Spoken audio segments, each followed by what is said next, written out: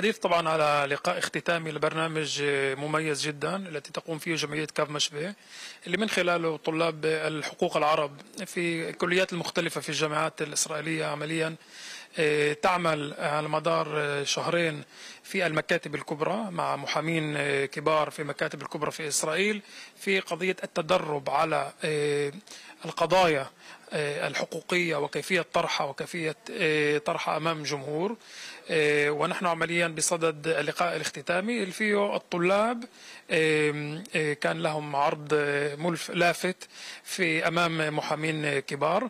فعمليا هي تجربة استثنائية هي تجربة رائعة جدا للطلاب للتعاطي مع الأمور القضائية أو الحقوقية وكيفية طرحها.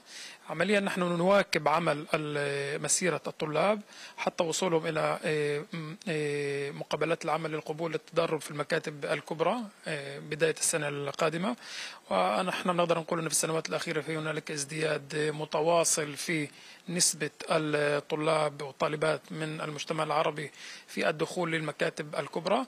طبعا هذا المشروع يدخل في مشروع أوسع استراتيجي لكاب مشفى اللي فيه بدنا نشوف أكثر وأكثر التالنت العربي آه، والطلاب الجامعيين والأكاديميين العرب يدخلون إلى سوق الأعمال في إسرائيل وليس فقط الدخول الأول وإنما التطور والوصول إلى مواقع إدارية ومواقع آه، تنفيذية في هذه الشركات بغرض التأثير والتأثير ايجابيا آه، على هذه الشركات والتأثير ايجابيا على مستوى المجتمع العربي. طبيعة الحال نحن بشكل عام نتحدث عن أنه في اليوم مهارات عالية جدا والقول هو واضح جدا. بقدر ما المكاتب والشركات والمؤسسات في قطاع الأعمال الإسرائيلية معنية آه، باستقطاب آه، بقدر ما نحن معنيين بالدخول إلى هذه الشركات أيضا هذه المكاتب معنية بدخولنا إليها. فعمليا هنالك آه، التقاء أو شراكة في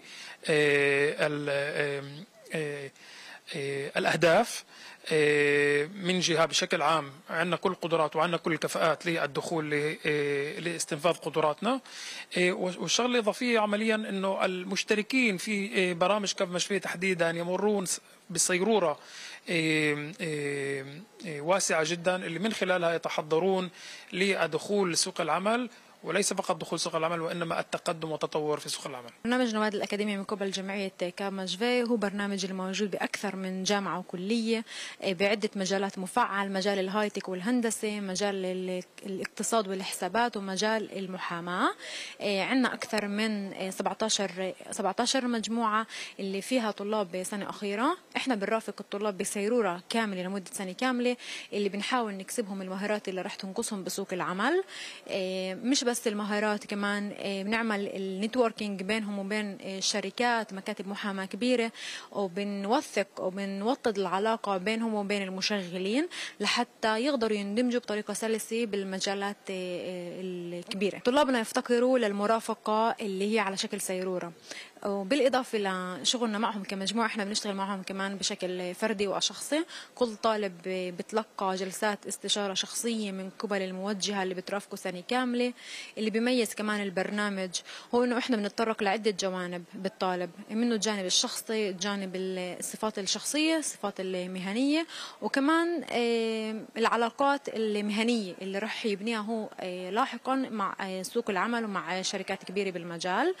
بالإضافة إنه طلابنا بالأكاديمية يفتقروا لهي البرامج اللي بتجمعهم كمجموعة واحدة من مواضيع متشابهة. كطالبة قانون اللي مقبلة على فترة ال סטאז' رح أبلش آه، خلال الفصل الدراسي القادم أبلش أعمل مقابلات على أساس أني آه، أقدر أسكر مكان لل סטאז' خلال آه، الفترة ما بعدية التعليم. بالنسبة لي برنامج زي هيك كتير كتير مهم لأنه هذا البرنامج بدمج ما بين الشغل العملي لبين الشغل اللي هو النظري اللي هي بنكتب بالبداية بحث قانوني وبعديها بنضطر إنه نوقف ونعرضه عقبال أكبر شركات المحاماة وعقبال محامين وشركاء بشركات المحاماة. أنا بآمن إنه كل منحة هي بتساعد كل طالب قانوني لأنه بالآخر الطالب كل طالب جامعي آسفة كل طالب جامعي هو الطالب اللي بحاجة لهي المبالغ وهي الدعم بس بنفس الوقت إحنا موجودين بهي البرامج على أساس إنه نطور من إمكانياتنا كطلاب قانونيين لقدام مش بس لهي المنح بس كل منحة حسب رايي هي شيء جدا أساسي بحياة الطالب الجامعي خصوصا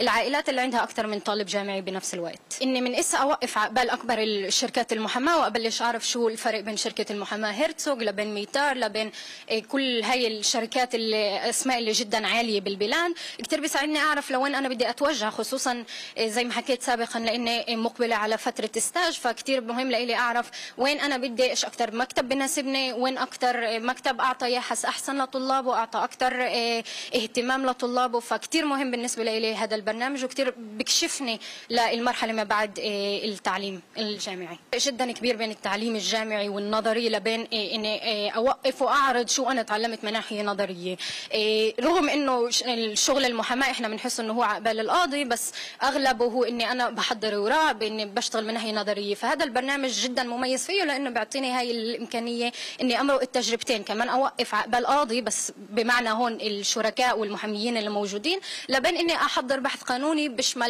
كل الأوجهة تبعت البحث في مرحلة الدراسة وظيفة أو واجب على كل طالب أنه يجمع لنفسه أكبر أكبر عدد ممكن من الأداة أنه تفيده في المستقبل.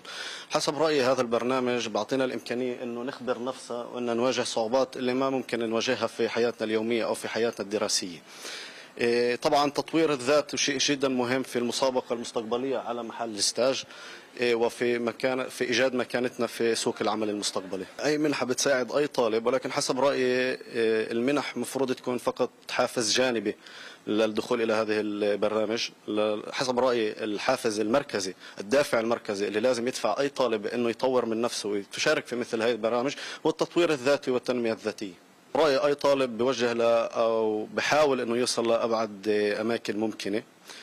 التعرف على محاماة أو على محامية اللي بتتعامل في أعلى مستويات العمل أو في أعلى مستويات المكاتب تعطينا القدرة أنه نعرف شو متوقع منا في المستقبل. تعطينا الإمكانية أنه نكتشف لمجالات جديدة اللي لسه ما اكتشفنا لها في التعليم ذاته. طبعا معرفة محامية جداد أبواب جديدة بتعطيك مجالات تعطيك أداة جديدة لبناء مستقبل أفضل. طبعا في فرق شاسع ما بين التعليم وما بين المادة النظرية أو البحث النظري في مجال الحقوق والقانون لا بين العمل بين المجال العملي أوكي؟ الشغل هنا مع المك... مع المحاميين بعطينا الإمكانية إنه نسكر هذه الفراغات ما بين النظري والعمل. أنا بعرف جمعية كافاشفي من من من من قبل كم من سنه كنت أنا مشترك فيه معهم في كورسات معينة.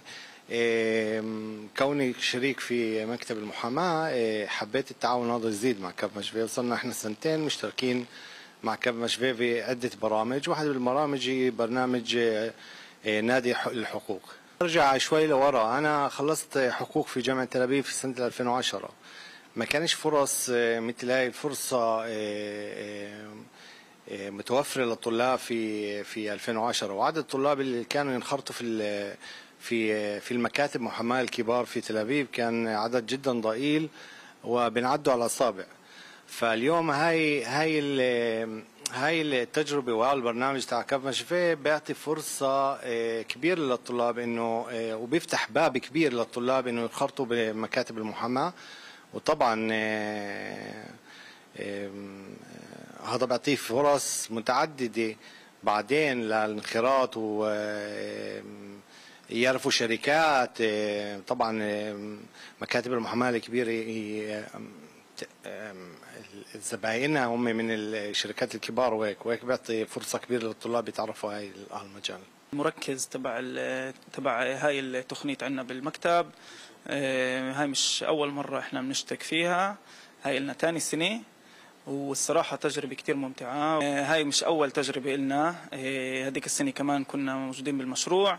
والصراحة كانت تجربة كتير ممتعة فيها إثراء لنا للمكتب للطلاب فيها صراحة يعني إمكانية إنه نساوي اندماج ونقدم الاندماج تبع الطلاب العرب بالمكاتب الكبيرة. بتفتح أبواب للطلاب العرب بتفتح أبواب للمكاتب برضه نتعرف على الطلاب العرب ونتعرض لهم بمشاريع تانية. ما كانش الإشي موجود ما كانش الإشي ممكن.